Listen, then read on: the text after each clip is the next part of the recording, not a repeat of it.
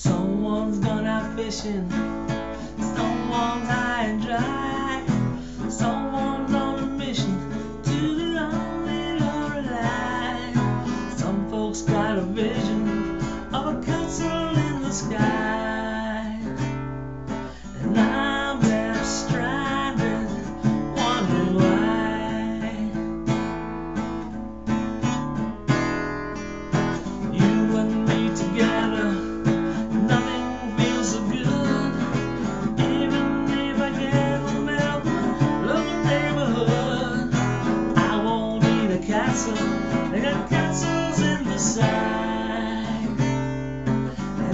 comes to strength.